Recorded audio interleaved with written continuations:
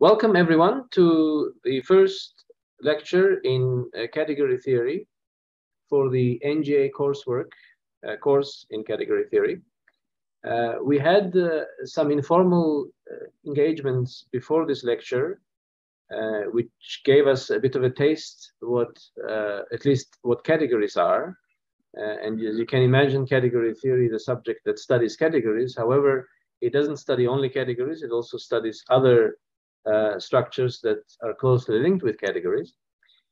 Um, and uh, in this lecture, therefore, one might think that we want to now depart from where we stopped in the informal sessions. Um, but actually, instead of that, we're going to uh, restart one more and last time. Uh, we are going to now once again describe what categories are, but this time we will take quite a different approach to what we had before.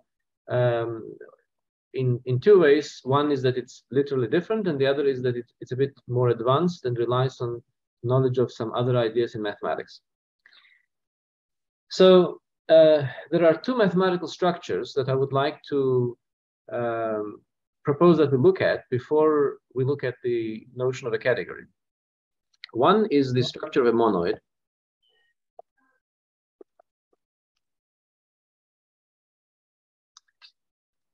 what is a monoid? Well, a monoid is, as probably most of you know, it's um, it's a set M with a binary operation that is supposed to be associative and for which we need to have an identity element. We can picture a monoid in a certain way. We can picture a monoid this way. We write down our um, M as a certain object. We can represent it by a dot. And then we picture elements of the monoid as arrows going, uh, looping into that dot.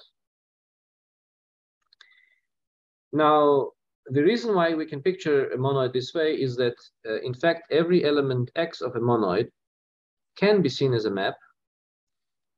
Uh, it is the map that multiplies elements of the monoid by x.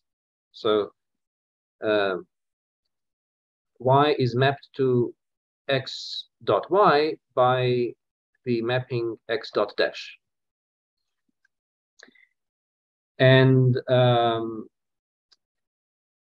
it turns out then that this correspondence uh, allows to present multiplication as composition of those mappings.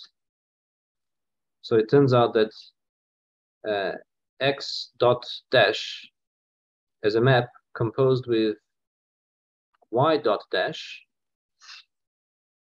is actually the map x dot y dash. And this is very easy to confirm. You just plug in a variable there um, and, and, evaluate the, the, both sides of the equality. Um, so if I apply this function to a variable z on either side. Let's see what we get. On the left side, we need to apply it successively. So we get uh, x dot y dot z. Uh, and on the right side, we just plug this dot inside the dash and we get x dot y dot z. And these two expressions are equal because uh, operation is associative. Um, and so we get that uh, we can we get a representation of multiplication uh, operation of the monoid as a, as a composition of functions. Uh, and it is customary to represent functions as arrows, of course. So M is our set, and these arrows represent functions from the set M to itself.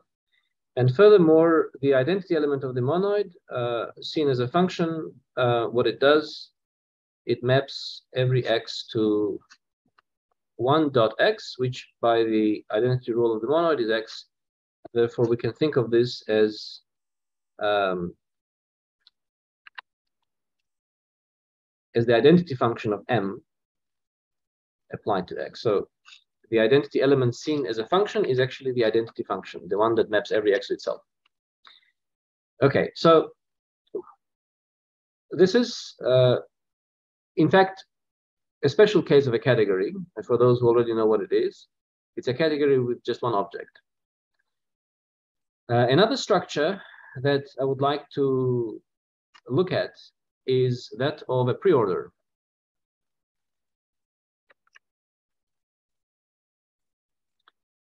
What is a preorder? Well, it is a triple uh, P, um, a set P, and uh, well, actually not a triple. This time it's a it's a it's an ordered pair consisting of a set P and a binary relation on it. The binary relation needs to satisfy certain requirements, and these are that x is always less or equal to x, and that if x is less or equal to y and y is less or equal to z, then this should imply that x is less or equal to z. Now, once again, we can give a pictorial representation of a preorder uh, where this time, instead of drawing P as a single dot, like we did here, where we drew the set as a single dot, instead of that, we will use dots to represent elements of P. And um, when one element X is less or equal to another element Y, we will represent this by drawing an arrow from X to Y. So for example, this transitivity rule for less or equal can be now represented by drawing an arrow from x to y and an arrow from y to z, and then requiring that every time I have such two arrows, I necessarily need to have a third arrow that goes from x to z. Of course, uh, the first axiom on a preorder ensures that uh, there is an arrow from every dot to itself since every element must be less or equal to itself.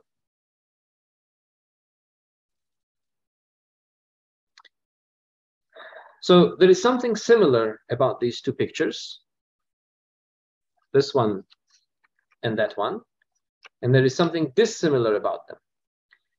Um, let's start with what is dissimilar. Here, we only have one object, one dot, and here we have several of them.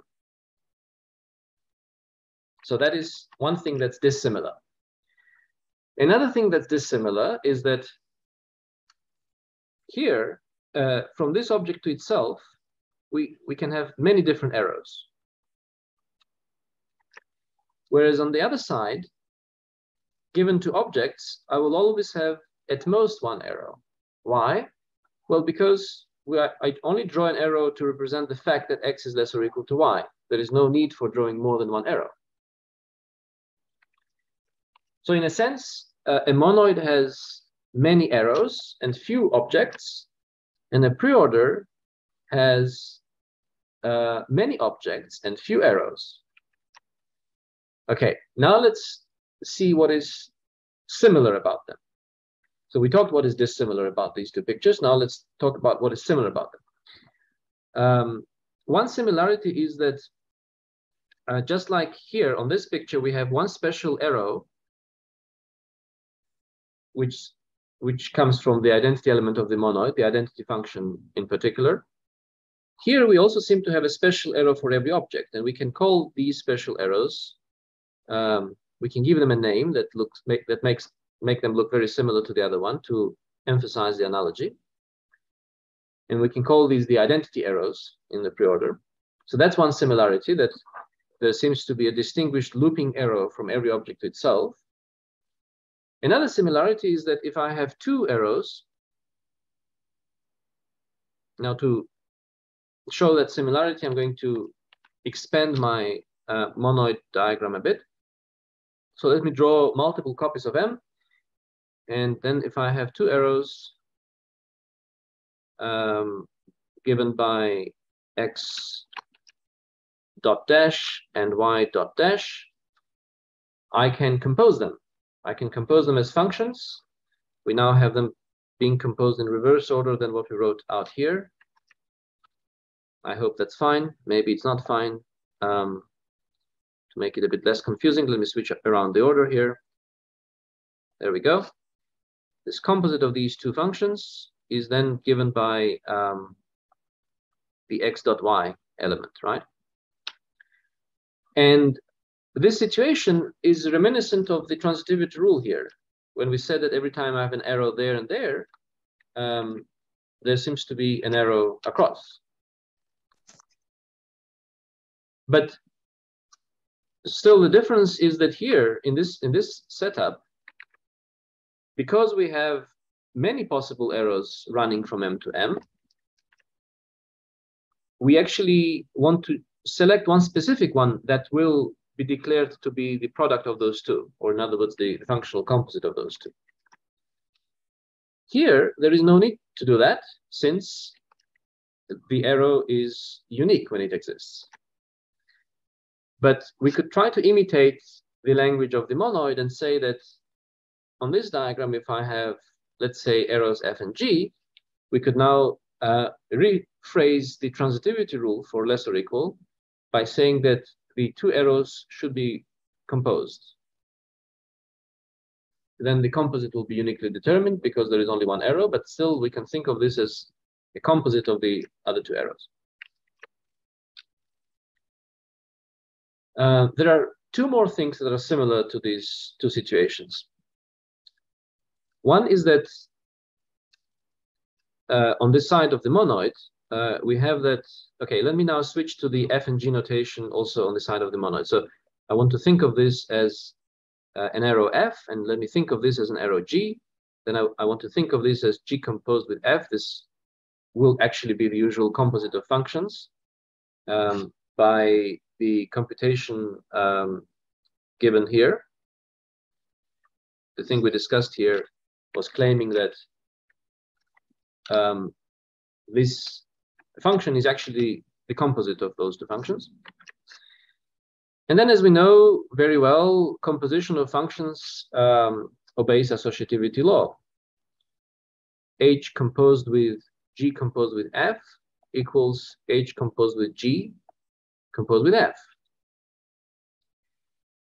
Let us draw a diagram that um, exhibits all the arrows involved in this uh, rule. So we will need four objects and three arrows, one arrow F, the other arrow G, and finally the arrow H. And then we can form the composite GF, form the composite HG, and then further form the composites of H with GF,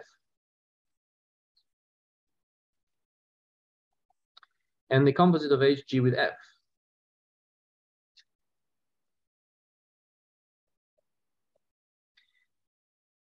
And in the monoid situation, we've got them equal to each other.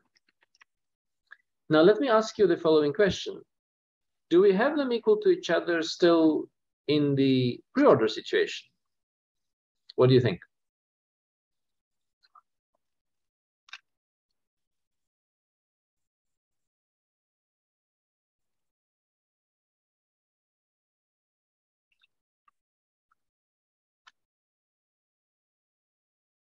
Would anyone like to take my question?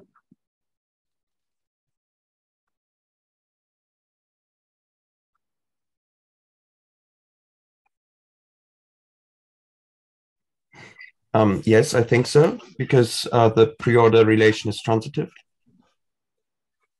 and associative. yeah, that, that's my question. Why is it associative? I think somebody had their hand raised, raised um, but now it's gone. um, I can take a stab at it. I, I think it is associative because composition will always involve an identity arrow. So we are in a preorder now. We have these objects in a preorder are now possibly separate objects. Let's call them, let me switch to capital letter notation, X, Y, Z, and T. And I don't see what role do identity arrows play in the fact that in a preorder, these two components are possibly equal to each other. Uh, yes, I agree.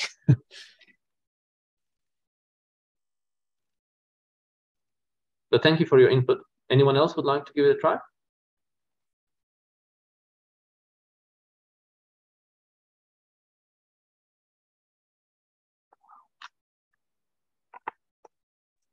Um, well, we know. Well, first of all, we already implicitly assumed it is when we wrote x less than equal to y less than equal to z there. But we know that if, yeah, again, the the transitivity of the pre-order relation kind of implies this, since we know that if z is less than t and y is less than that, less than the z, we know that y is less than t. But if we then we also know that x to, is less than we're not trying to demonstrate the existence of these arrows. That we already yes, know we're trying we have. to show equality. Yeah, we want to show they're the same. Yes. Yes. So if we have that they're equal and we have that unique arrows exist, then they must be equal. That's right. So uh, we remark that in a preorder, given any two objects, there is always at most one arrow connecting them. And here we have two possible arrows, that one and this one. But the presence of an arrow is just a statement that x is less or equal to t. And, and so when the arrow is present, there is only one arrow. That's how we build the arrow symbolism or the arrow uh, uh, notation representation of a preorder.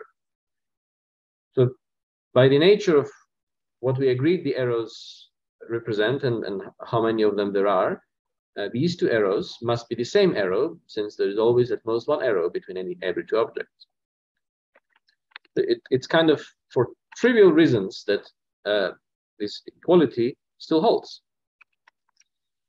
And then the other thing that's similar about the two situations is, is the behavior of the identity arrows. So um, f composed with an identity arrow of an object x, in the case of a monoid, it's just uh, m, of course, equals f.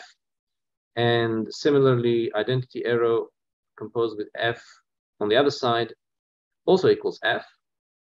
And if I draw diagrams um, exhibiting these equalities, they will look as follows. So I've got my object x.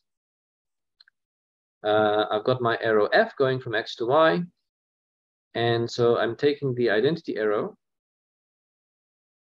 and composing it with f. I'm getting some arrow here, f composed with the identity arrow. Uh, that is equal to f when uh, this is usual composition of functions. That's a trivial fact. Why are these two things equal for a preorder? Well, for the same reason as before. Both f and the other composite, they both run from x to y. And from x to y, there is at most one arrow. So these two arrows must be the same. And then exactly the same argument will hold uh, for the other identity law, where we are composing um, f with the other identity, identity of y.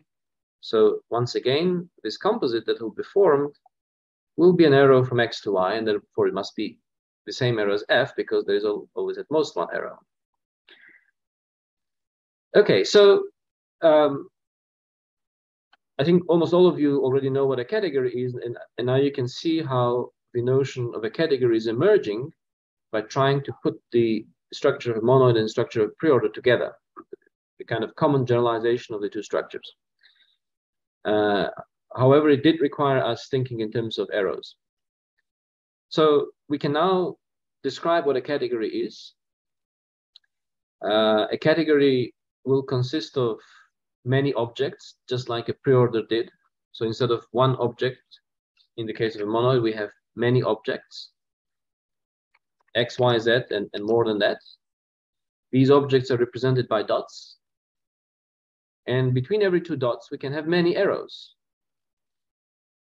Moreover, whenever we have two arrows, f and g, arranged in the way that's displayed on this picture, where f goes to some object y and g goes out from that object, there needs to be a composition of those arrows defined. Uh, and that needs to be really defined and determined in advance. So you, we cannot change composition once we've fixed the composition only after that. And, and we have to fix that for every pair of arrows arranged in a diagram like this. Only after that we have we can say that we are um, we have a category.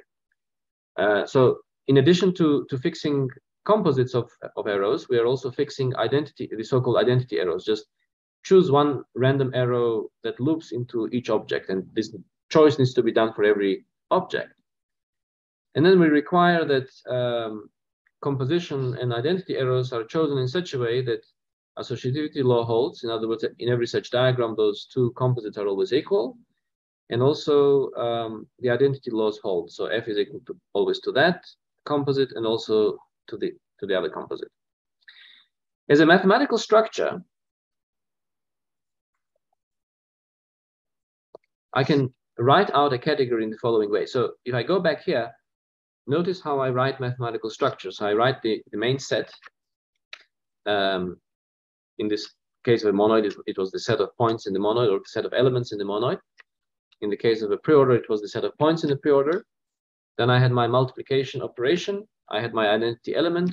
Here I had my uh, binary relation of less or equal, right? So all the structural data that describes my my structure is kind of listed in a tuple. So let me try to imitate that in a category. Um, the, the, only thing difference is that now a category will have more structural data than the other two had because a, a category is a richer structure than the other two on their own. So what kind of data do we have in a category? We have um, something that usually people call C0, this is the collection of objects of the category. In other words, the dots we've been drawing or things we've been labeling with capital or uh, letters. Um, so this is the collection of objects. It, it can be an abstract collection. We only start calling it objects once we have a category to talk about them.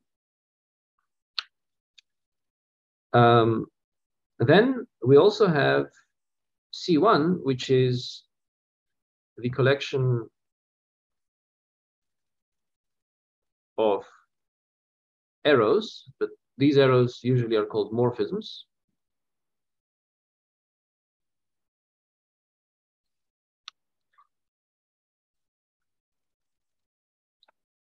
Now, we need to keep track of the fact that uh, each morphism has a source or domain and a target or, or codomain. So e each arrow goes out from one object and points to another one. And that uh, information also needs to be part of the description of the category. And that can be done by two maps called um, D and C maps. Um, so D, the D map assigns to every arrow its domain. or in other words, its source.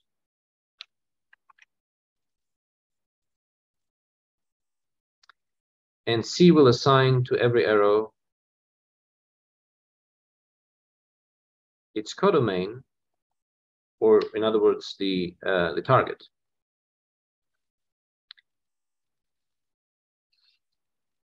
That's not it yet, right? We, we still have more structure in a category. Um, for every object, for every object, we have a specific arrow that loops into that object. So that can be encoded by um, a, map E that chooses for every object an arrow uh, for, for that object. We will call this the identity morphism map.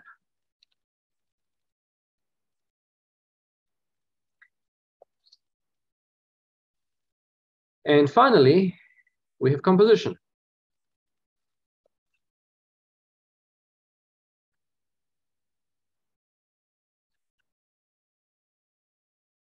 So one, two, three, four, five, six things together give us a category.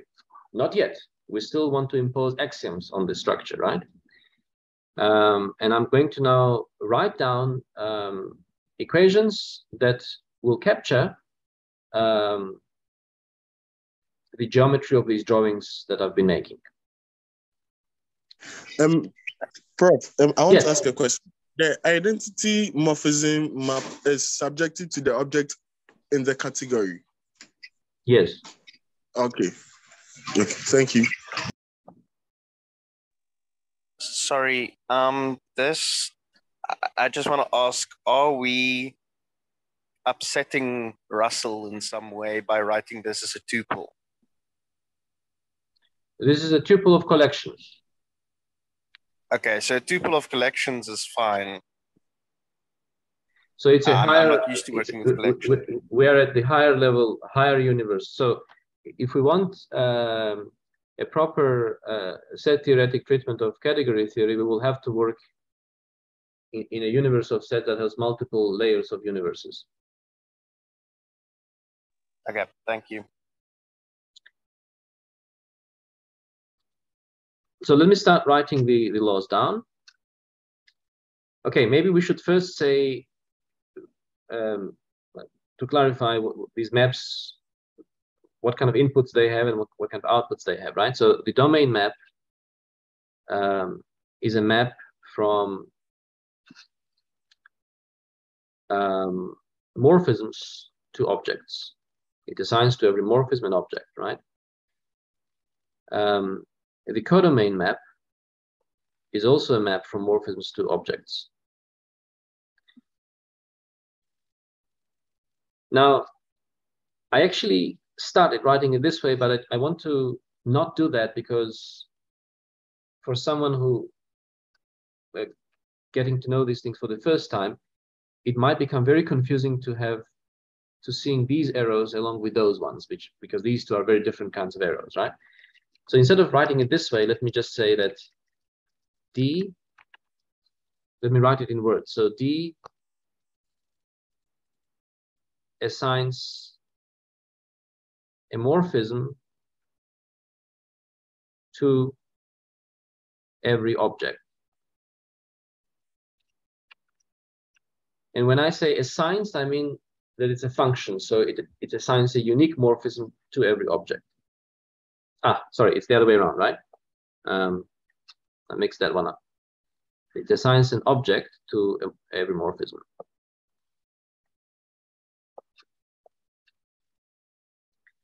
Now C does the same thing. Maybe we can put them together. So both C and D assign an object to every morphism.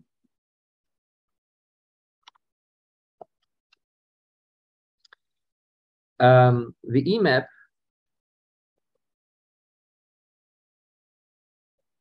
assigns a morphism to every object. This was the question that was asked earlier. Now let's state what uh, the circle does. Circle assigns a morphism to every pair of morphisms such that the codomain of F equals the domain of G. Let me explain that. If I go back to this picture, I only want to compose G and F when F goes into wherever G goes out from. If, if they don't match, I don't want to compose them. I only want to compose them in that case, which is very meaningful in terms of the transitivity idea, right? Um, but what is this case? What does it mean that F goes into wherever G goes out from using our terminology? Well, here, uh, Y is the codomain of F, and X is the domain of, of F, right? And at the same time, Y is the domain of G, where the codomain of G is Z, right?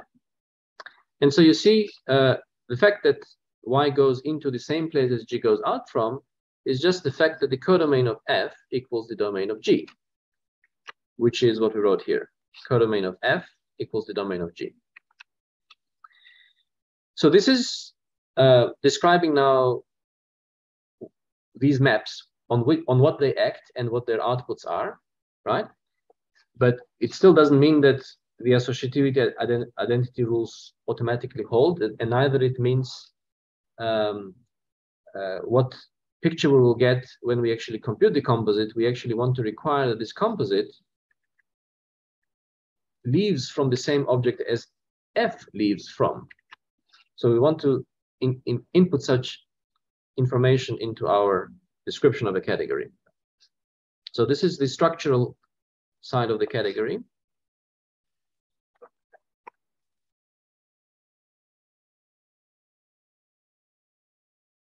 Sorry about that.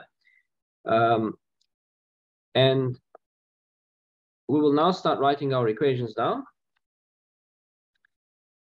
So we first maybe want to say that um, this identity arrow we choose for every object, the E of x, which we usually write as one subscript x, that this arrow is a loop from x to x.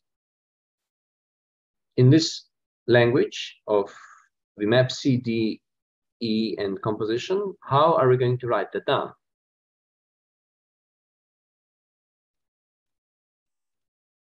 How can we express the fact that E of x needs to be a loop from x to x?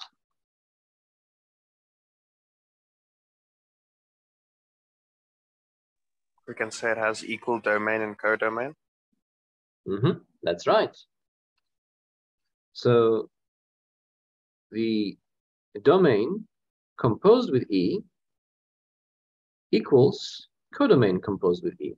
And that is true for every um, so th there are two ways to write this, either using composition or, or using just evaluation of functions. And let me, once again, not to mix up with, the, with this composition here, let me write it the, the more primitive way. So C of E of X always equals um, X. And also D of E of X always equals X. Okay, so we took care of, of that part. Uh, the other thing we want to take care of is the fact that when I have two morphisms that have been composed, that this composite, so this is the, the map circle applied to the pair GF. Um, in fact, let me correct myself here and let me rewrite this as GF because that's how we were drawing it. So I now want to say that this composite arrow needs to have a, the same starting point as f does and the same endpoint as g does. So that would be saying that the, the domain of um, the composite of g and f equals the domain of f, right? Whereas the codomain of maybe this should go on this side.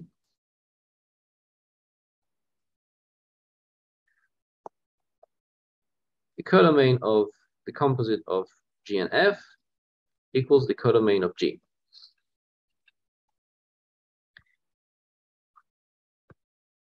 What remains to complete defining a category is stating the associativity law and stating the identity laws.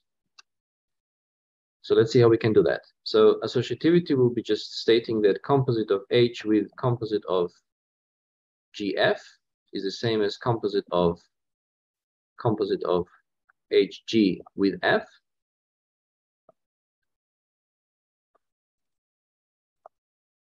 And the identity law will be saying that um, composite of the codomain of F, well, the identity of the codomain, right? So the E of the C of F with F must equal F. So what does that mean?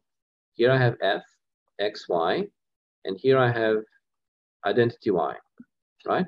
And I want that composite to equal still to F.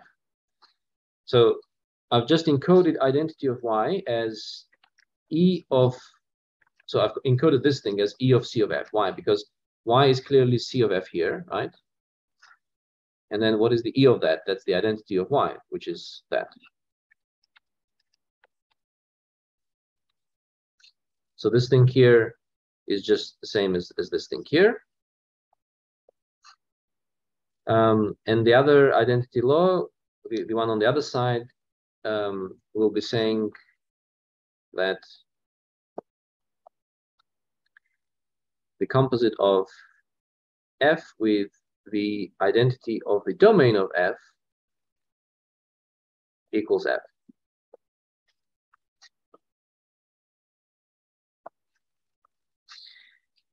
Okay. I hope I haven't missed anything. If you notice I have, please let me know. Otherwise, if I haven't missed anything, then we have a definition uh, for a category. So a category is a tuple of these objects where C0 and C1 are some collections of things called objects and morphisms respectively. And then we have these mappings uh, whose behavior is described here. And there needs to be some properties that hold, which all of which are, are purely equational properties. So the fact that the axioms are purely equational, that's what makes a category into an algebraic structure. Algebra is about equations. The fact that we can draw categories, and in fact, not just draw, uh, moreover, these drawings are, you will certainly agree with me, these drawings are much more intuitive than formulas like this. Uh, the fact that we can draw um, what's happening inside a category uh, gives um, a category a geometric um, flavor. So when you when you do category theory, you're kind of combining, in a sense, algebra and geometry. You usually prefer to make drawings because they allow you to see things much more quickly than having to write everything out. As you see, we, we had to write so many things out, and doing that every time um, will be quite um, it, it will taking taking away your attention from what you want to be focusing on. So you, we really work with categories as geometric objects, but they are only geometric in disguise, disguise in, in, in, in their essence. They're actually algebraic objects because their axioms are all equational. They're not algebraic in the classical sense, in a way that it, something would be algebraic in the classical sense if I only had one set and some data of functions or operations on it. Here we have two of them. This is called this two-sorted algebraic structure when there are two uh, sets at, uh, at play. But it actually turns out that we can um, present uh, axioms for a category using just one set. That will be the set of morphisms.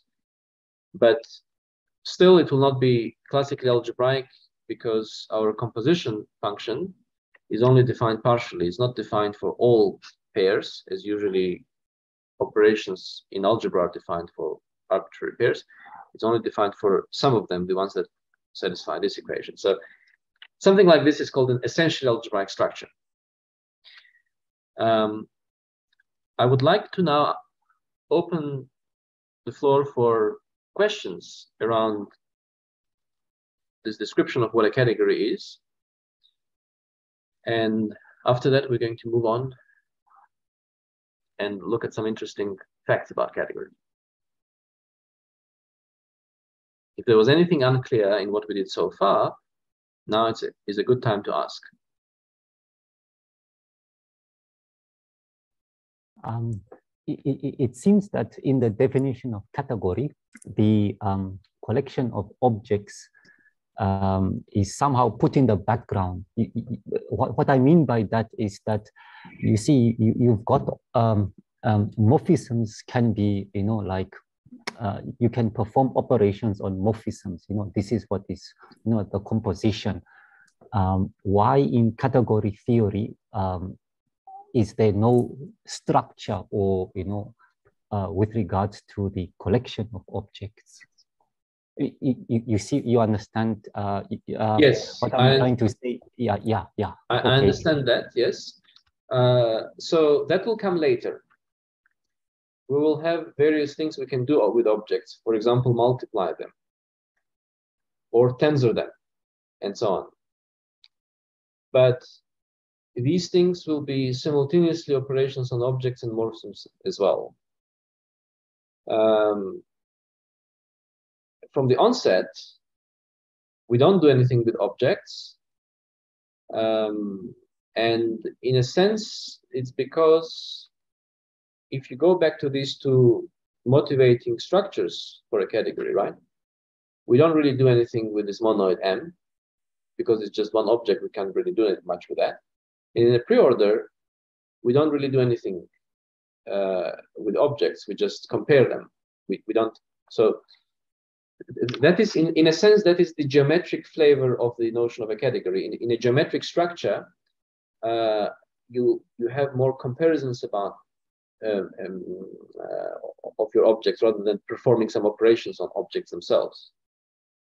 Uh, now, at some point, we we want to do something with objects in a pre-order, like for example, considering supremums and infimums and, and so on. And then they turn out to be special cases of things called limits and colimits um, uh, in, a, in a category with order switched around. Um, so we will do something with objects, but in the beginning we don't, just like in the pre-order in the, in the beginning we don't do anything with objects.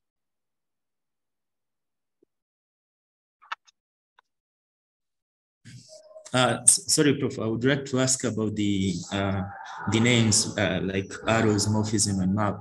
As far as uh, as long as the category theory is concerned, can we just use them interchangeably, or uh, we need to be careful on the type of category we are talking about? Uh, that's a very good question. Thank you. So morphism is completely interchangeable with arrow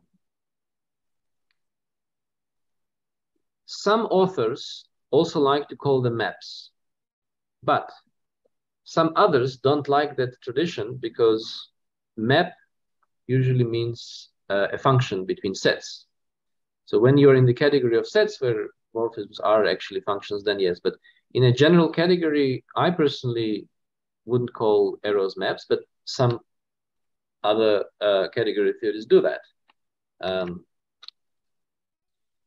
the, the most common terminology is morphism. Some prefer to, to call morphisms arrows. Uh, that certainly doesn't cause any ambiguity. But if you start calling them maps, it, there is a little danger that there might be some ambiguity. Um, for example, it might give an impression to the reader that you're working in a um, specific category where arrows are actually functions between sets. Okay, thank you.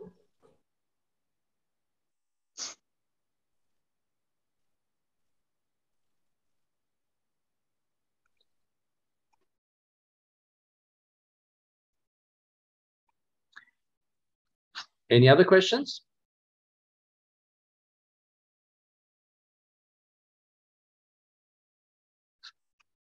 Okay, so if there are no other questions, then let us list some of the standard examples of categories. Uh, I'm not going to go back to monoids and preorders. I think it is obvious from this discussion that monoids and preorders form categories the way they've been pictured here. So every monoid can be seen as a single object category. In fact, the two concepts are equivalent. Um, every single object category actually is a monoid. And also every preorder can be seen as a category. But there are many more examples, and that's what I, I would like to uh, mention here. Maybe I will still mention those, but I will not talk any more about them. So A monoid is a single object category and a preorder is a category too. Now, when you say when you say that something is a category, you have to be careful because you see how many things are involved in defining a category. So you have to actually very make it very clear what are your objects? What are your morphisms? Uh, how do you regard morphisms uh, in terms of their domains and codomains? What are the identity maps and what is composition? Now instead of listing all of these things if, if it's kind of obvious um, how these things would be defined then we don't list them and just say something as simple as a preorder is a category.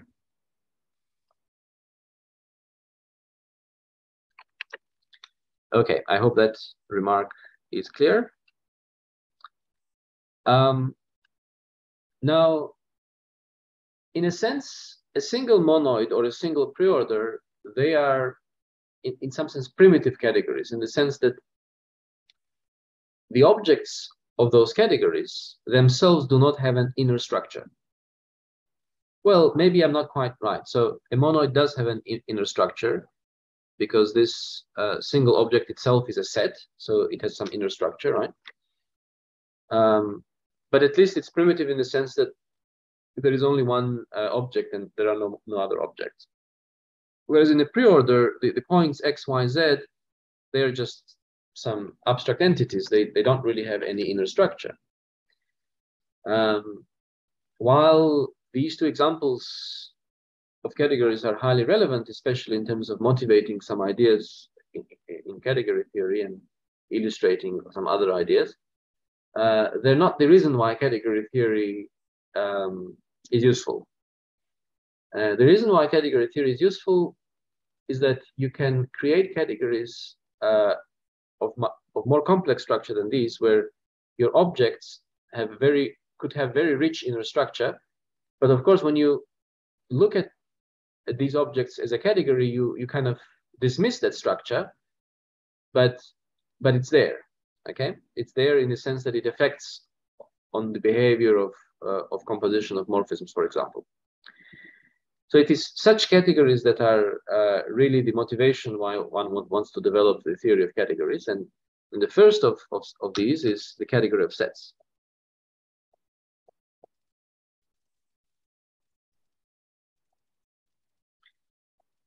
This category is usually denoted like this. Well, I said earlier that when we describe an example of a category, we have to list the whole set of data, right? So we have to do all of that. Huh? So let's actually do this in detail for, for this specific example. And then when we move to other more similar, uh, other similar examples, then maybe we will skip there and assume that it's uh, um, recoverable from the little information we might provide. So let's spell out each of these ingredients in the category of sets. So we will have to describe what C0 is, what C1 is, what D is, what C is, what E is, and what composition is.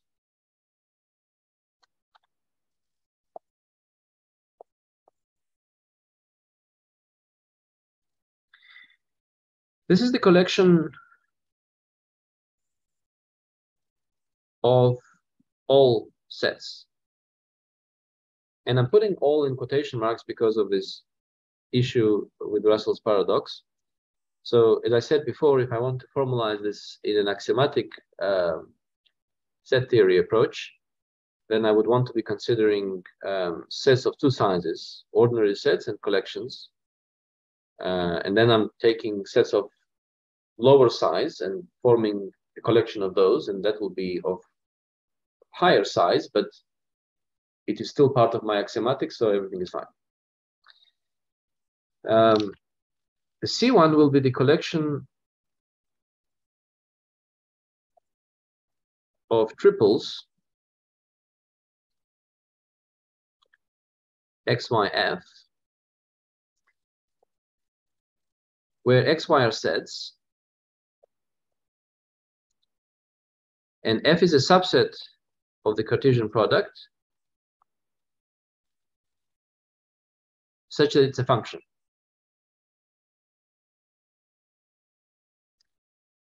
Um, what does that mean that it's a function? It means that um, for every x in x, there exists a unique y in y, such that the pair xy belongs to f.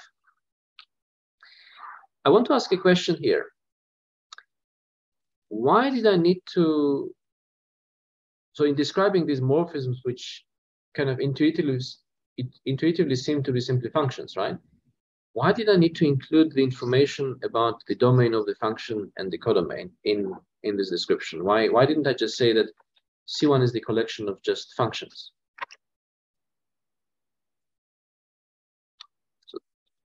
So what I'm trying to achieve here is that if I've got x and y, I, want to think of function um, from x to y uh, in terms of just the set of ordered pairs. So that's what a function is, right? Why do I need to present f as a triple?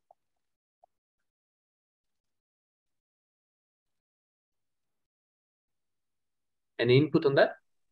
I'm not quite certain why you need the domain, but the codomain can't necessarily be recovered from F, right? So in order for our C function to be able to actually say what the codomain is of F, we need to put it in the triple. That's a very good remark. Um, let me respond to that after the other remark. Yes. Uh, or is it to, ins to ensure that uh, composition holds, that we can compose?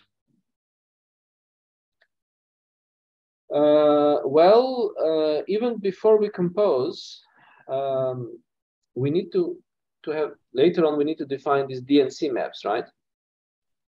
So knowing what is F, I need to be able to say what is it, its codomain and what is its domain. But codomain of F is not recoverable from F. For example, uh, I mean, as Jan said, so for example, if I take um, a set of real numbers, and I consider the function that maps x to e to the x. And I want to think of this as an arrow from R to R.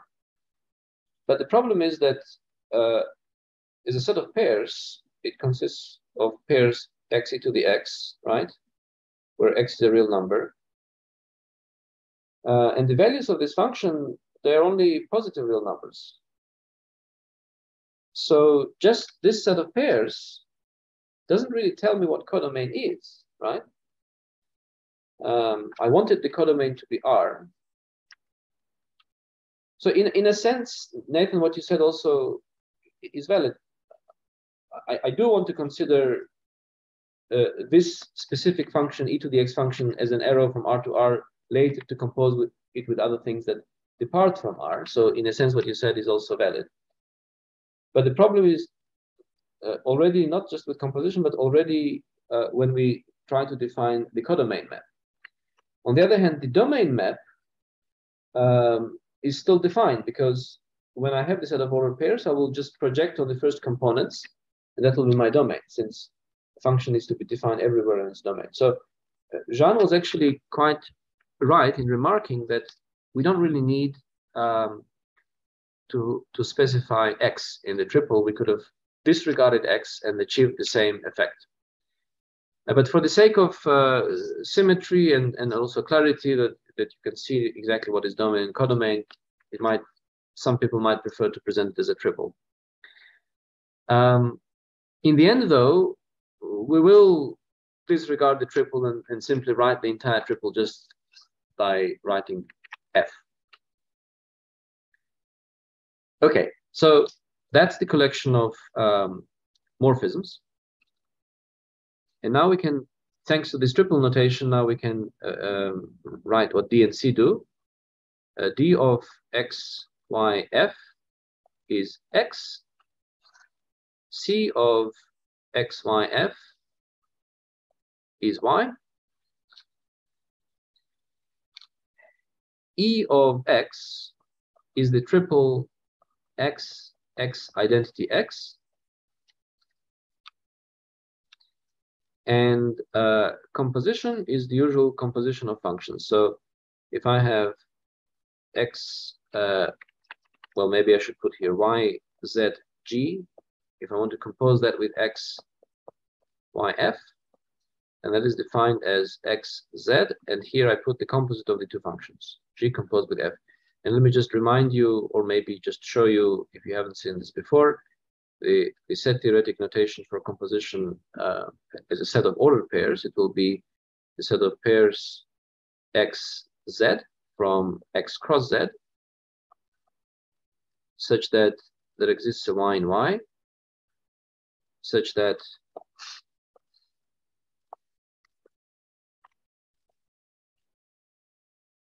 xy is in F and YZ is in G. Of course, in the end, we will be writing y such that xy is in f, we'll be writing this as f of x, since we know by the definition of a function that such y is unique, right? Uh, we will not really be using this pair notation eventually. I'm just showing you the pair notation to kind of show you how we are formalizing everything in set theory. Um, and similarly here, the z will be just written as g of y. And then composition is usually defined through that notation just by saying that g composed with f applied to x is g applied to f applied to x. So if you if you do the substitutions here, put that y in there, that you you get this formula, right? Okay. Um, now we have now described all this data that should constitute a category. It is of the right kind that can be confirmed that um, the type of data that we wanted to have, we do have such type of data. And then we can further con confirm that all the equations that define a category hold. And this is another thing one usually skips in exposition. It's just a, a very simple exercise to confirm these things. Um, but uh, well, because it's such a simple exercise, leaving it for the reader to confirm for himself or herself, maybe even without writing anything down, uh, is more efficient than writing everything in the text. Um, so we will follow that tradition and leave this for you to confirm if you have some doubts that um, the described data indeed forms a category. Okay, I, I now want to move away with being so meticulously precise because, um, first of all, because I'm hoping that most of, of the participants here, you are already are um, have some um, experience in, in, set theoretic precision. Um, so it might be annoying to, to see everything spelled out so precisely because it because if it was was was uh, written imprecisely, you would know how to make it precise, and imprecise notation gives a shorter way of uh, and more intuitive way of seeing things. Um, and secondly, is uh, because it takes time to make everything precise, um, and, and one then misses the intuition uh, that one wants to explore. So,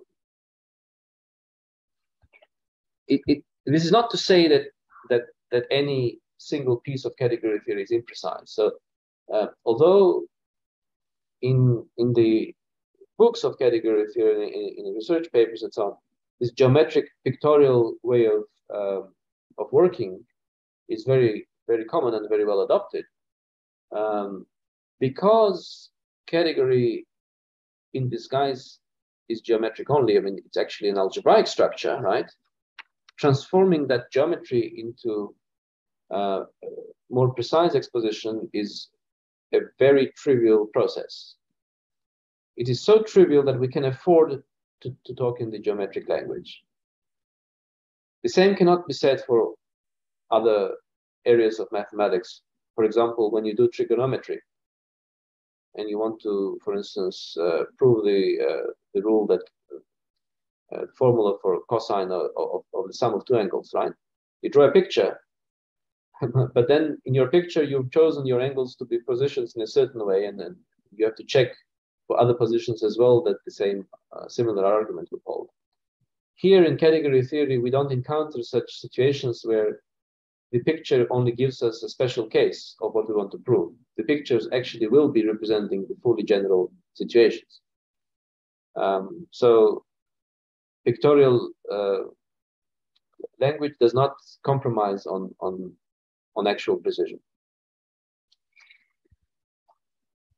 Okay. Um, and so I will now follow a bit more intuitive description for the next category.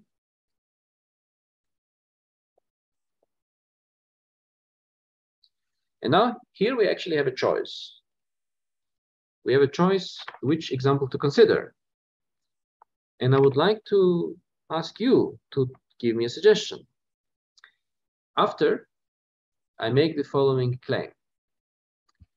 Any kind of mathematical structure that you've encountered can be turned into a category.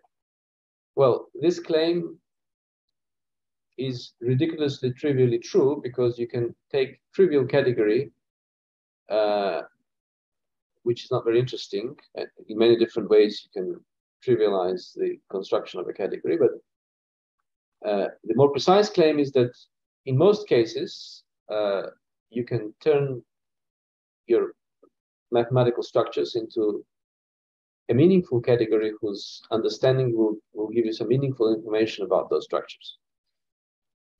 Um, and in fact, that is the, the whole point of category theory to uh, do that.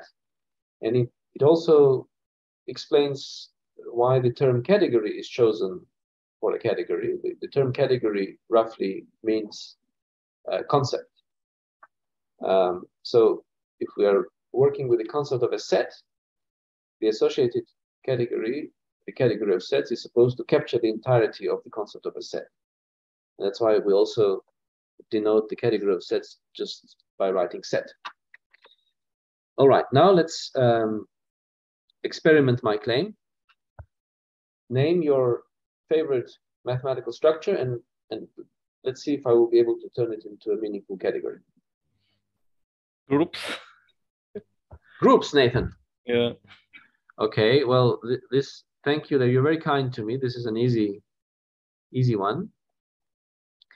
The category of groups, it's denoted GRP.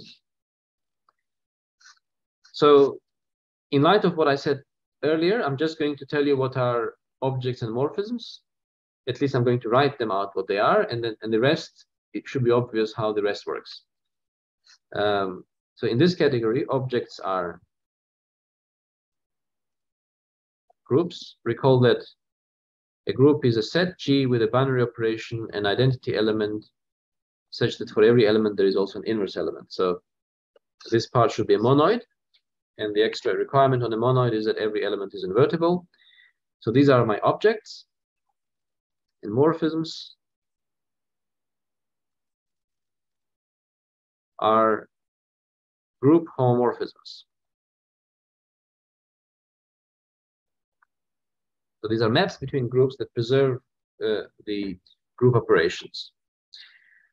The category of groups is one of the most important categories in category theory because a, a, a large portion of, of the study of categories emerged by trying to abstract away from the category of groups and see what features it has.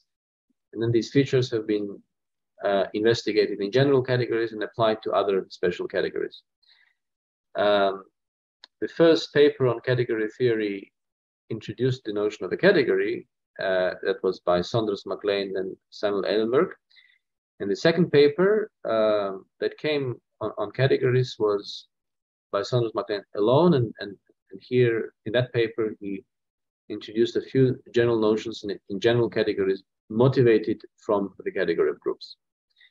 So this is a very important category. We will probably return to this category a few times.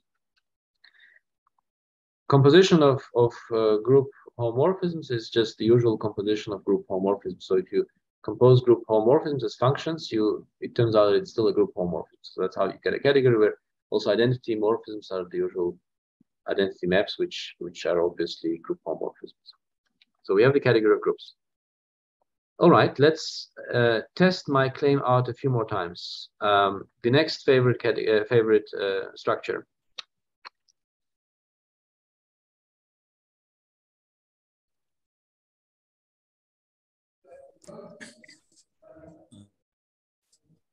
Vector spaces.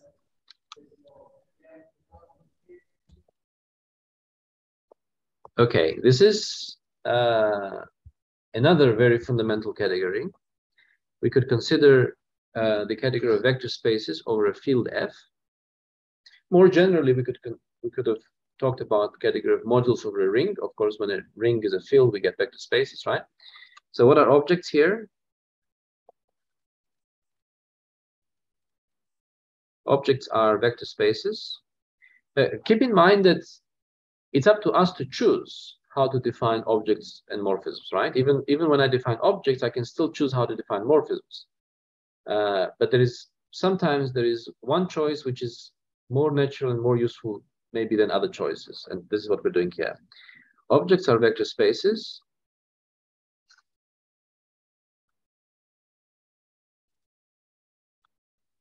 And morphisms are linear maps between vector spaces.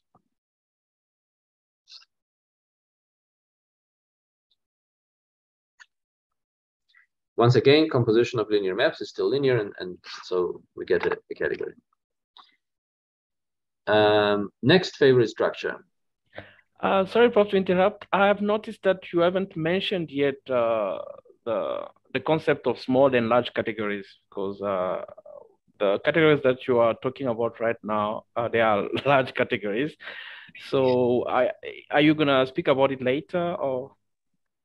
Uh, well, a, a, category is small. I can I can I can just answer that comment right now. So a category is small when this collection and also this one themselves are sets.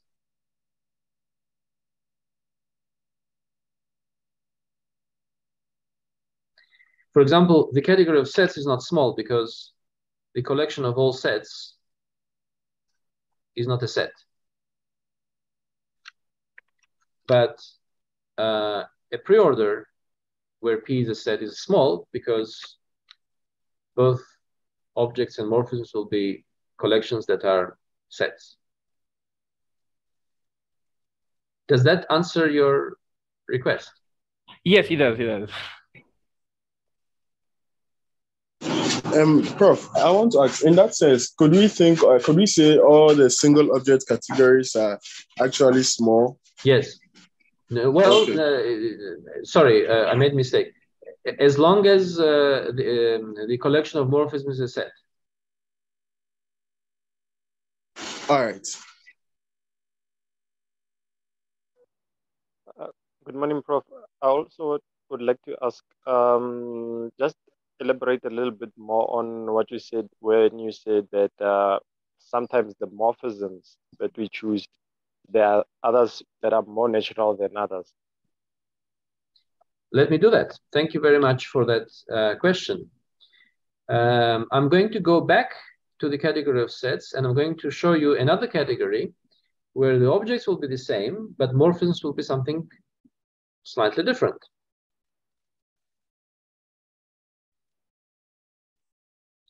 In fact, that will be my, my next example. The category of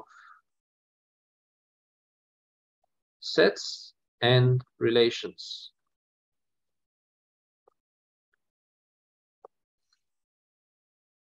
In this category, objects are sets. Morphisms are no longer functions between sets. A morphism from a set X to a set Y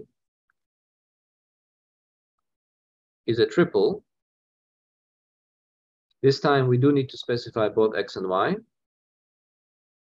And I'm going I'm not going to call it F anymore um, I'm going to call it R for the reasons that will be evident now.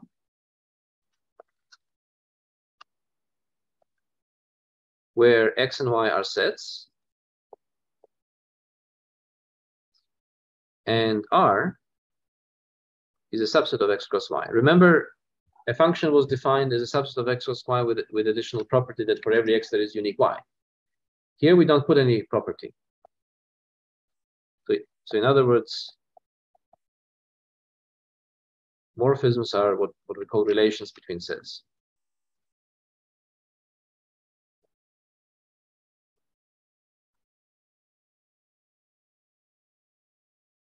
We can compose relations. In fact, composition of functions is a special case of composition of relations. If I have two relations, R from X to Y and S from Y to Z, their composite is defined as well, if we think of these as triples once again, x, y, r, and y, z, s, then the composite is x, z, um, and the the set of ordered pairs is the set of all ordered pairs xz, such that there exists a y, such that um, xy is in R, and yz is in S. And now I ran out of space, so let me create a bit more space. And, and you see this definition is identical to the definition we gave earlier for functions.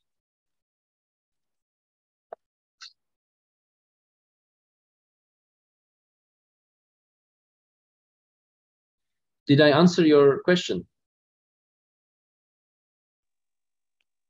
Yeah, yeah, yes. Uh, but I also had uh, in mind, um, um, for instance, there would, okay, uh, uh going through a, a, a book on category theory, they would give an example of um,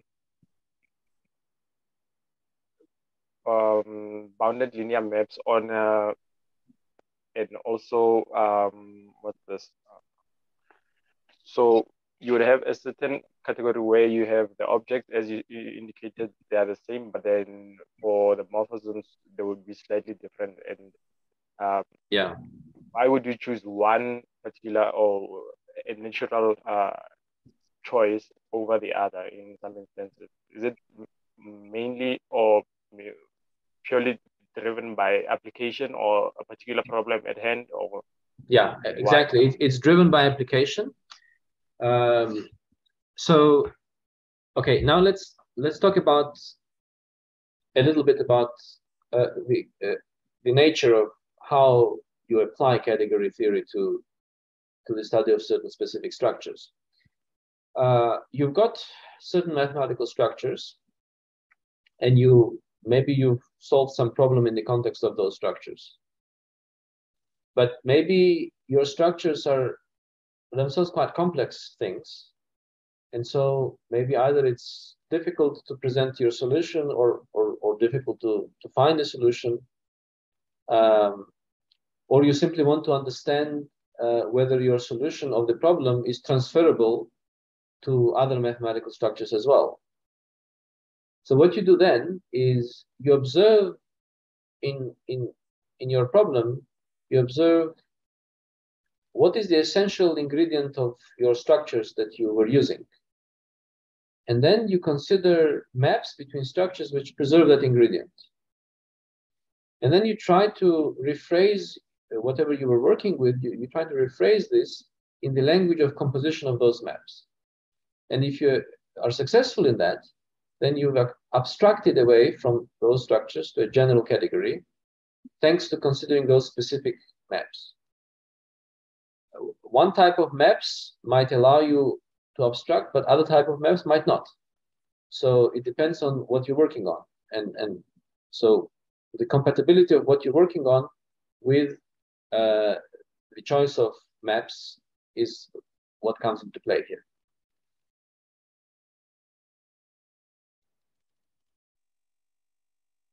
Okay, bro. Yeah, just another quick question. Uh, so obviously, this latest category is not uh, known as the category of set. It's known as uh, the category of relations. The category of relation is something still different. This category is the category of sets and relations. Usually, when we say two things, the first refers to objects and the second refers to morphisms. In the category of relations, relations will be objects and morphisms will be something else. And I can we can I can show you that as well.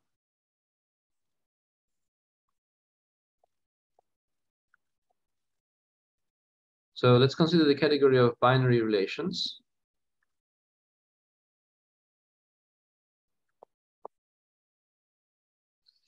Well, maybe some authors call this thing the category of relations. But if, if we did choose a name by by the nature of arrows, then we should have called this not the category of sets, but the category of functions, right? So you more commonly, the category of relations is a category where uh, objects, and there are few ways to, to go, go about it. We can define relations just on, on a single set or, or between two sets, and, and more common is to just consider a relation a single set. So objects are pairs xr, where x is a set, and R is a relation on X. In other words, R is a subset of X cross X. And a morphism from one such pair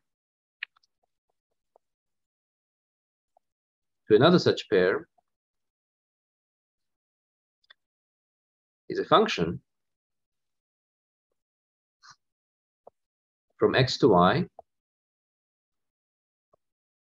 such that, and, and now I have some choices to make here, and, and, and one possible definition is uh, for with a different choice, I will have a different category. So, so one possible definition, which is the standard one, is to say that for every x1 and x2, well, I actually don't need to say this even. So for every x1 and x2, if x1, x2 is in R, then uh, f of x1, f of x2 is in S. And this shouldn't be too surprising because when my relation is a preorder relation, let's say, let's say both of them are some preorder relation, not necessarily the same, although I denote them in the same letter, then of course this just means that if x is x1 is less or equal to x2, then f of x1 is less or equal to f of x2. So I get the notion of uh, increasing function, right? well, um, maybe not strictly increasing, but increasing function. And so um, the category of preorders with morphisms being uh, uh, increasing functions, uh, you can think of this as living inside this larger category of category of uh, sets equipped with a binary relation.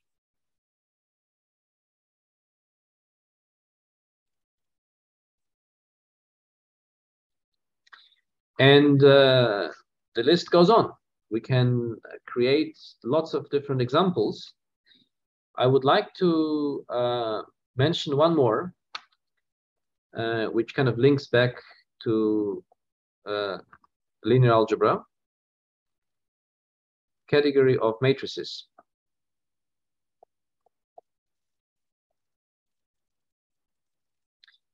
we can have this category for any, uh, in fact, ring R. So matrices over a ring R. If, if you don't know what a ring is, then just think of this as real numbers. So what are objects? Objects are natural numbers.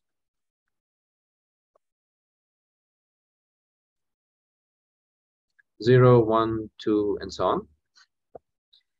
And a morphism from n to m is an m by n matrix.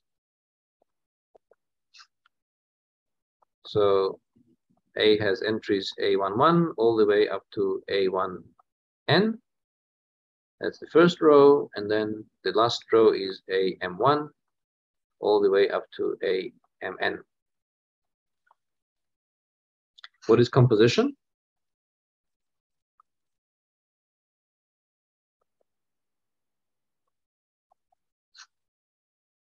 Can anyone guess what the composition will be?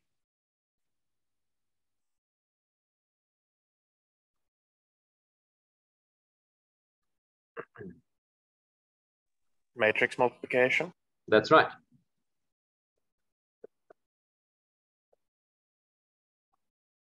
you can you can check that the dimensions match from from the diagram so that the matrices are actually you can actually multiply them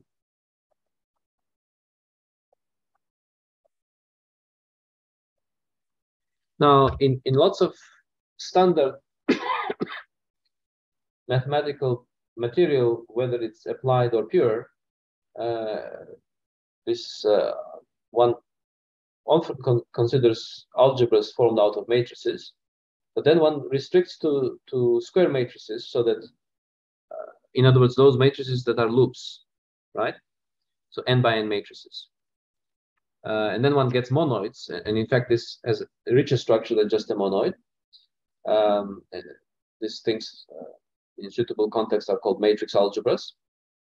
Um, but they have this limitation that it's limiting just to the looping arrows. And now this category allows you to consider all matrices of all dimensions at once as one algebraic structure. And it turns out that this category is very closely related to the category of vector spaces. And that relationship is given by representing a linear map as a matrix once you choose basis. Of course, we're talking about finite dimensional vector, uh, vector spaces. We will come back to that uh, link between these two categories, which conceptualize the uh, representation of linear maps as, uh, as matrices.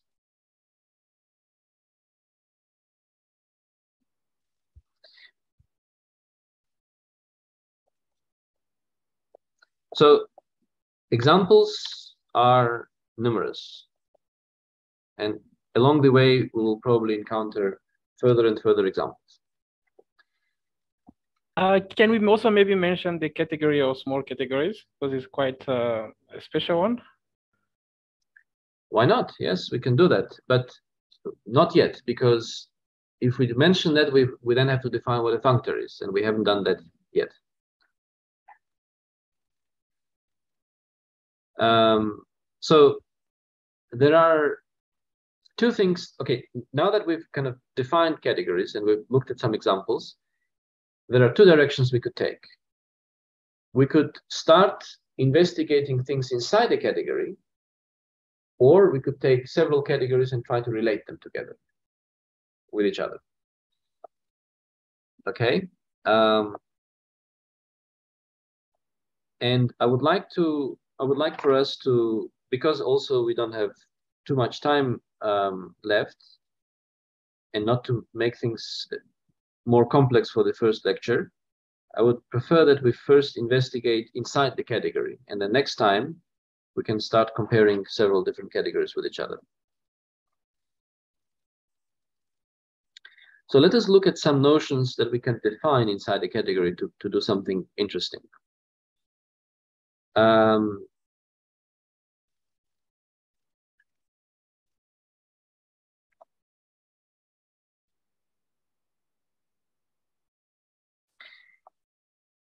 Okay, so we, we don't want to just give some abstract definition and then look at its examples. We, we, we now want to do it the other way around, where we begin with um, some construction that we know works for familiar mathematical structures.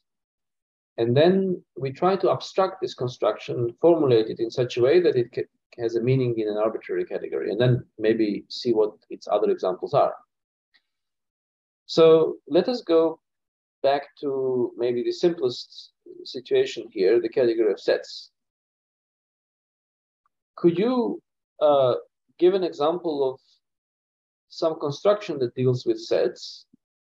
Um, and then based with based on uh, how how difficult it will be to abstract it, then we, we will either do that or, or, or, or try another example what I'm asking is to formulate some construction with sets. I mean, previously it was asked whether we do anything with objects, right? Uh, in a category. Well, we, we certainly do lots of things with sets specifically. We could take one construction of what we can do with sets and then see how we could do this for general objects in a general category. Uh, the notion of an injection function. That's a good one. Any other suggestions? Uh, the Cartesian product of sets. The Cartesian product is a good one too. Let's take a third one and then we get to work. The power set of a set. Fantastic. So we now have three interesting constructions. Can we abstract the following ideas or constructions or concepts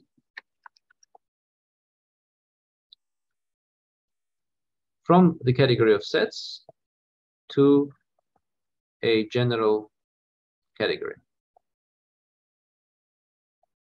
And the three that we've identified is in, one is the concept of injective function. The other is the concept of a Cartesian product of two sets.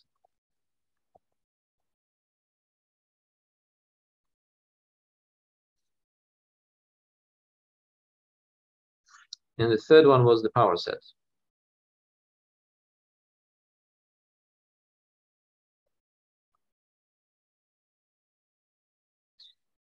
So, uh, in fact, it is coincidental perhaps that uh, they are in increasing uh, order of difficulty. And hence, it would be natural to then begin with the first one. Uh, this is one. Uh, this is something we already looked at uh, one of the informal sessions, so it might be a bit of repetition for some of you. Um, let's try to formulate the definition of an injective function uh, in the language uh, of composition alone. So we, we, we know very well what is an injective function in the language of elements, right? So uh, function f from x to y is injective. It means that um, f of x1 equals f of x2 must imply x1 equals x2. Okay, now, because we did look at this before or already, maybe I'm not going to ask questions since uh, some of you would, would know how to answer them because of our previous engagement. So let me simply develop the, the solution to this problem uh, without much input at, at, the beginning at least. Um, so in, in that informal session, what we discussed was how we can um, think of elements as arrows. So that, that's basically the, the, the thing we want to do here, right? So the, the x and 1 and the x2, they're elements of x, right? We want to turn elements into arrows. How to do that? Well, uh, with sets, we can do that actually. We could consider the singleton set, and then uh, an element of x can be described as a function from that singleton set.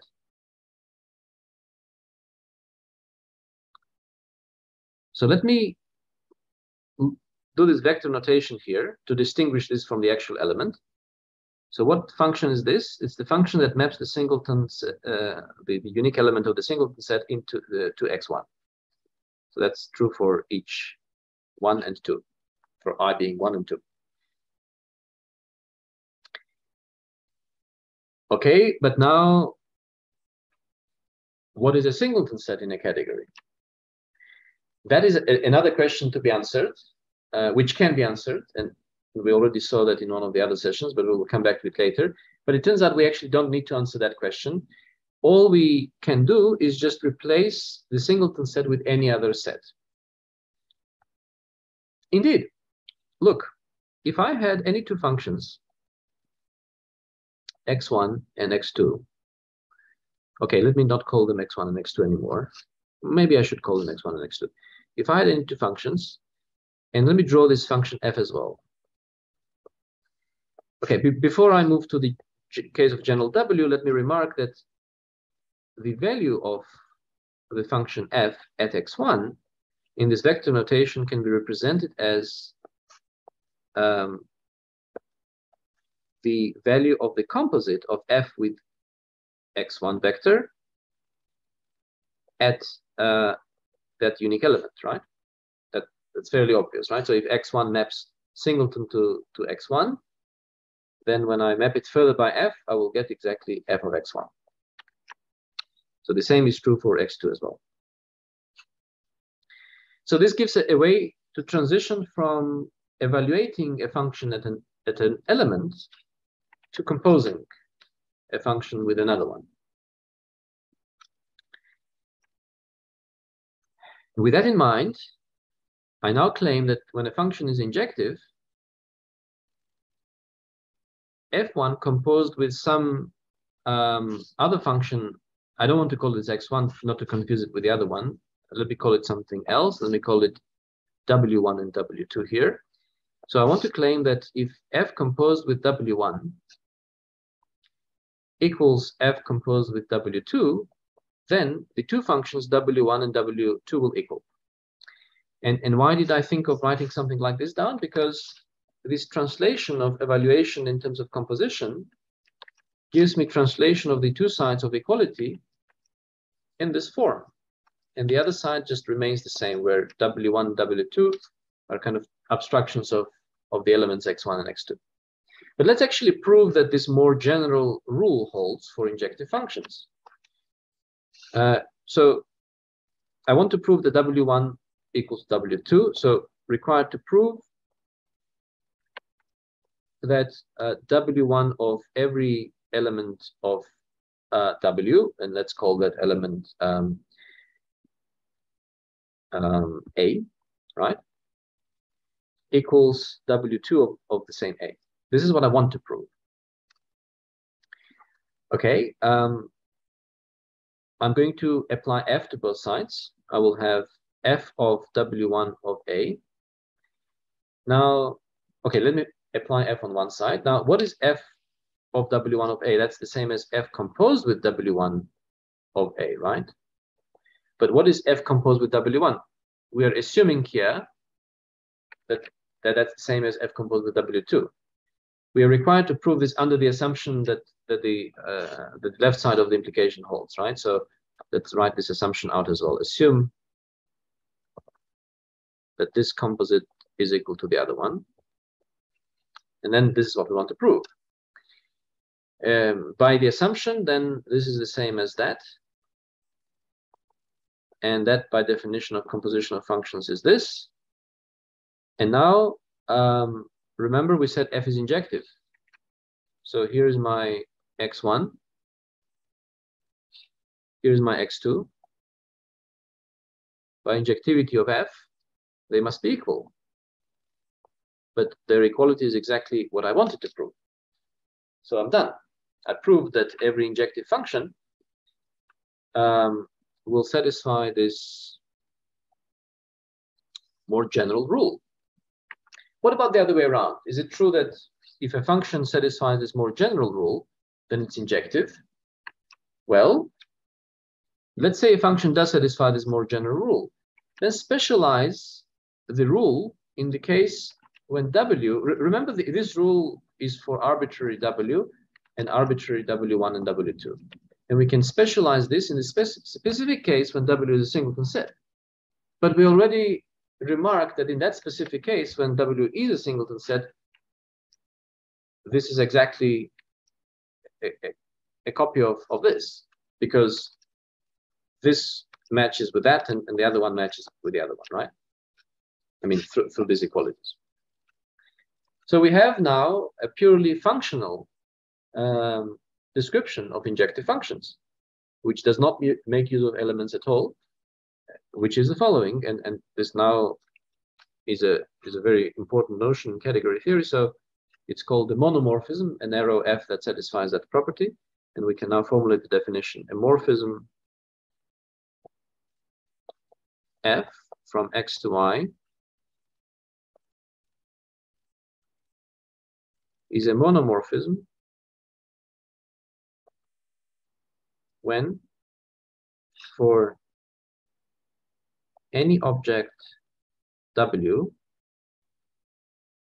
and any two morphisms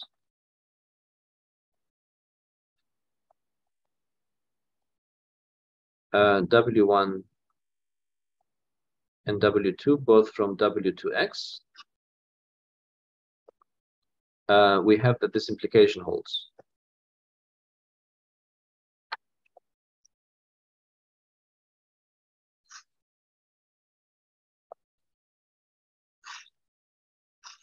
And the discussion previously can be written out as a theorem saying that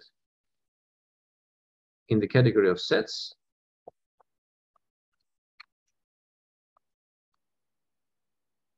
a morphism is a monomorphism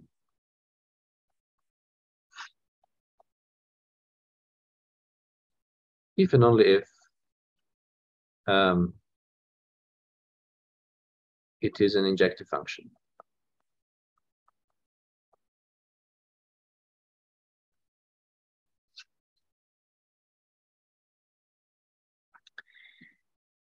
would anyone like to ask any questions before I move on?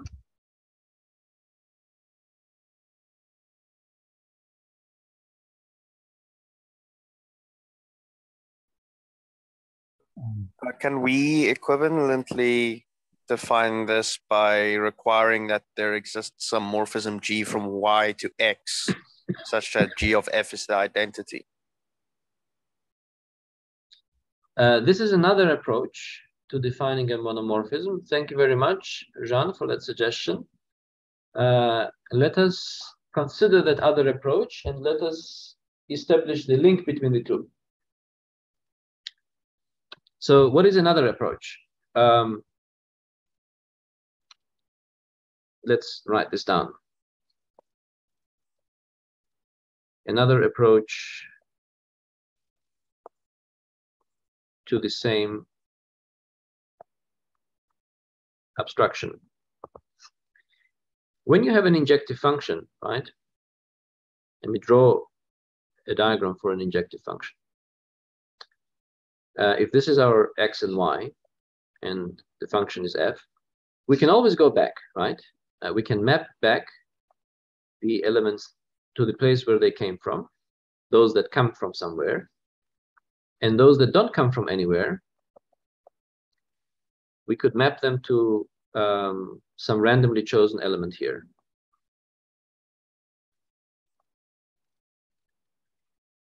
So these are mapped to, to, the same place where they came from, and, and, and those that don't, don't come, they're mapped to some randomly chosen element. This function in the other direction, let's call this function f star. I don't want to call it f inverse because it's not two-sided inverse. So if I start from x, go there and come back, I get back to where I started. But if I start at y, I might not get back where I start because I might start outside the, the range of f, the image of f, and I go there, then I end up in the image of f, and that will be different from where I started. So we only have um, partial inverse law here that f star composed with f equals identity of x, but not the other composite. The other composite isn't equal to identity. Um, there is a bit of, of a problem though. Um, so I actually want to turn this colon into a question mark. And when, when Jean suggested this, he didn't realize what the problem was, and neither did I. Uh, but there actually is a problem. Not every injective function f has the associated f star. Would anyone like to give an example of a function f for which f star does not exist?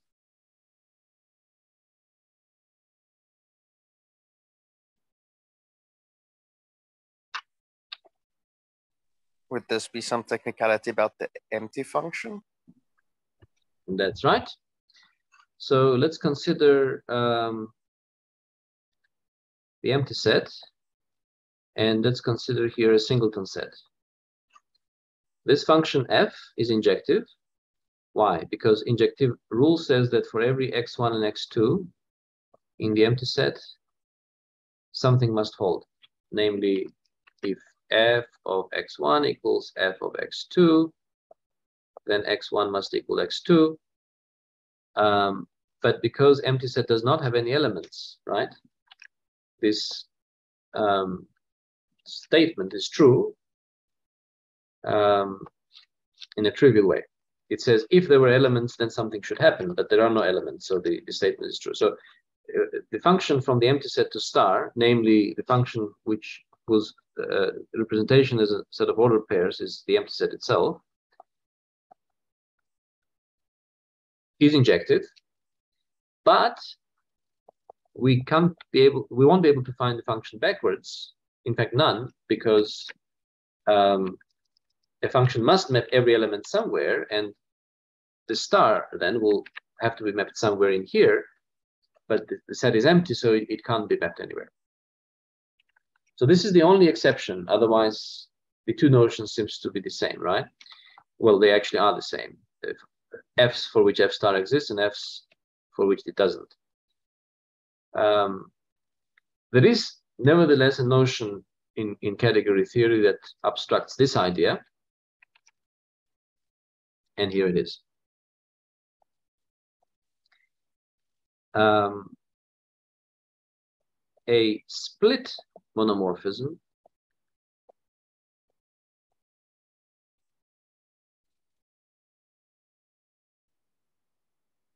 Is a morphism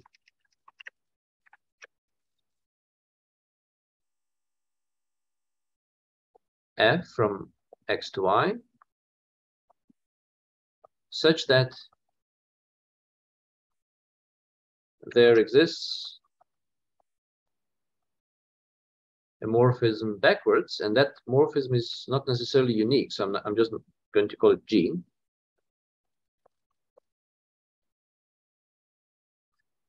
For which composite of G and F equals identity X. And in fact, we have a theorem that every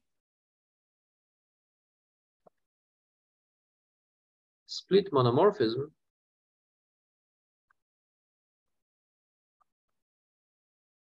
is a monomorphism. But backwards is not true. Not every monomorphism is a split monomorphism, and the counterexample is given here. So this is a split monomorphism. Sorry, this is a monomorphism, which is not a split monomorphism, right? This is a monomorphism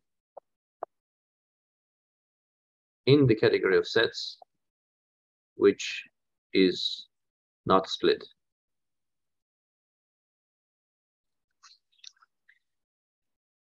However, if a monomorphism is split, then it will be in particular a monomorphism, and, and that's why it's called a split monomorphism with an adjective, and let's try to prove that.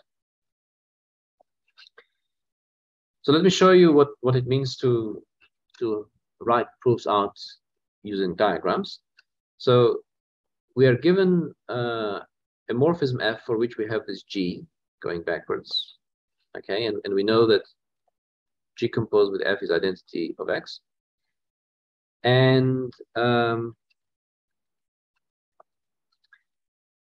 I now want to prove that f is a monomorphism. And remember what it means. It means that in such a scenario, with W1 and W2.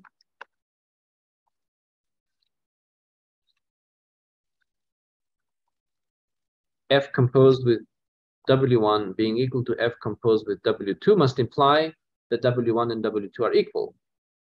So let's see what this implies. Any ideas what to do?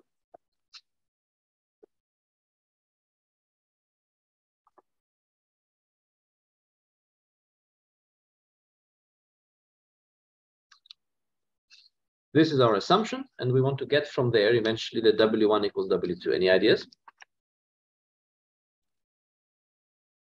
Uh, well, if we compose G with both of them, mm, that that's right. almost directly imply. We compose both sides with G. This is how the brackets will be arranged.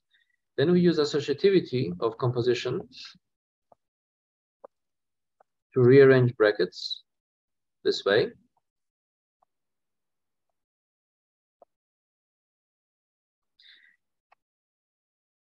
Then we use the fact that um, GF was identity, but for writing that fact out, I need to, for using that fact on the board, I need to increase the space on my board.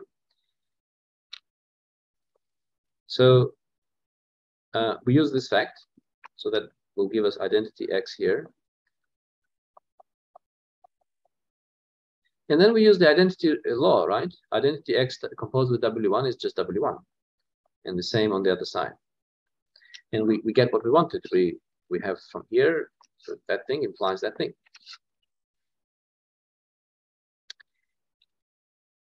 Now, you see, in the category of sets, um,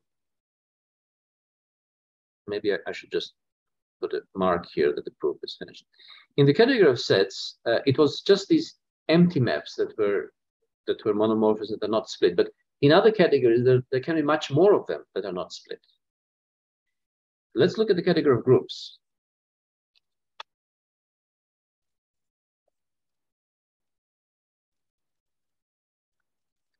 In the category of groups,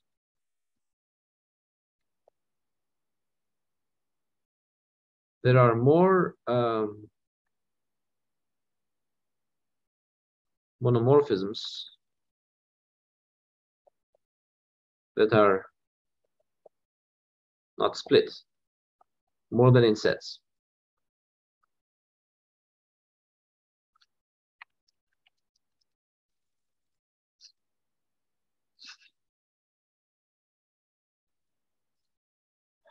Who would like to give a non-trivial example of a group homomorphism, a group monomorphism, sorry. Uh, okay, let me let me first tell you that one can prove without too much difficulty, and that might be an interesting exercise to do, that actually in the category of groups, monomorphisms turn out to be injective functions, in injective group homomorphisms. So we're now looking for an injective group homomorphism uh, that doesn't have this one-sided inverse if you're familiar with um, a bit with group theory, you might want to um, suggest which injective group homomorphism to consider for which we will never be able to, to go back. This F star will not exist. Even though in, in, in the world of groups, we don't have empty sets anymore because every group needs to have at least one element, at least the identity element. So it's not because of the emptiness that um, the, the splitting fails.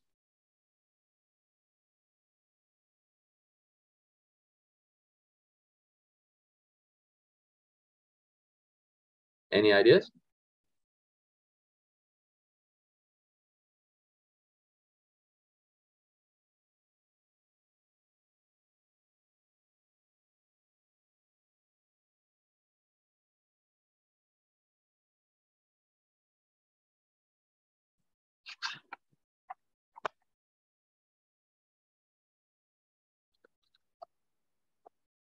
So what happens if we take um, even integers, thinking of this as uh, a group under addition, and we consider the um, injective function into integers, the embedding of even integers into integers.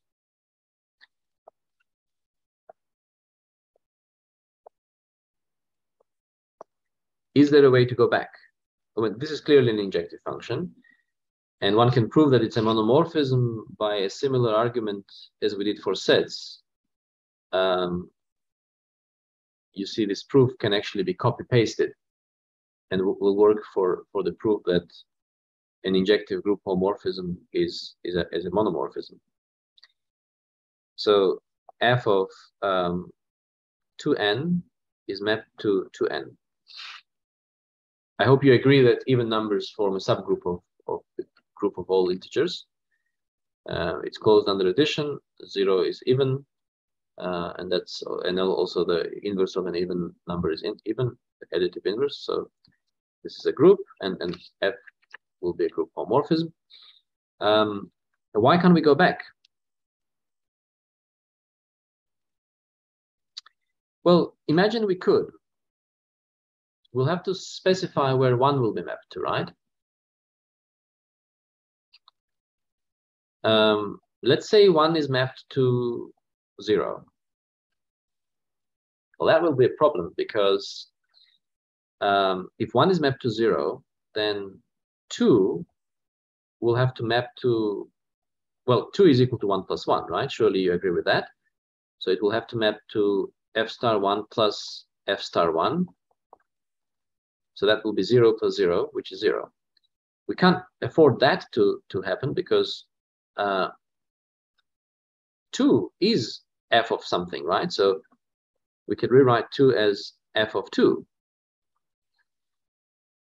And the whole idea of going back is that f of f of 2 and then f star of it must equal 2. So we will get that 2 equals 0, which cannot happen. Therefore, um, so this equality, um, which of the which equalities it fails? That this one because 2 is not equal to 0. So we can't have this. f star of one can't be zero.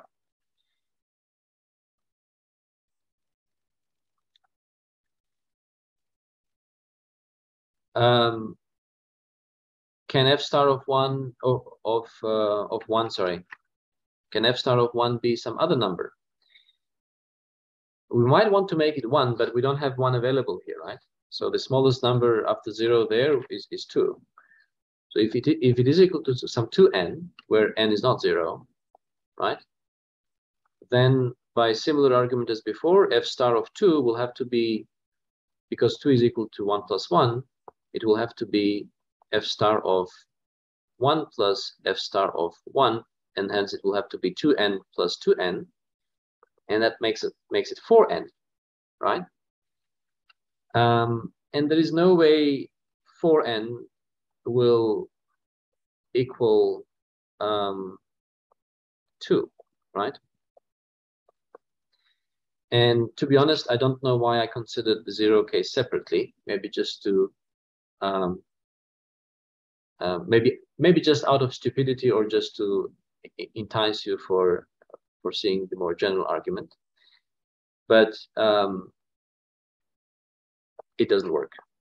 So this argument also proves the n equals zero case right? Because um, all numbers in in 2z are of this form and whether or not n is equal to zero 2 can never equal 4 times n so you see, we have an, a, a, monomorphism that's not split. So these two notions of monomorphism and split monomorphism are in general uh, quite different from each other, although we do have implication in one direction, as we remarked in this theorem, that every split monomorphism is actually a monomorphism.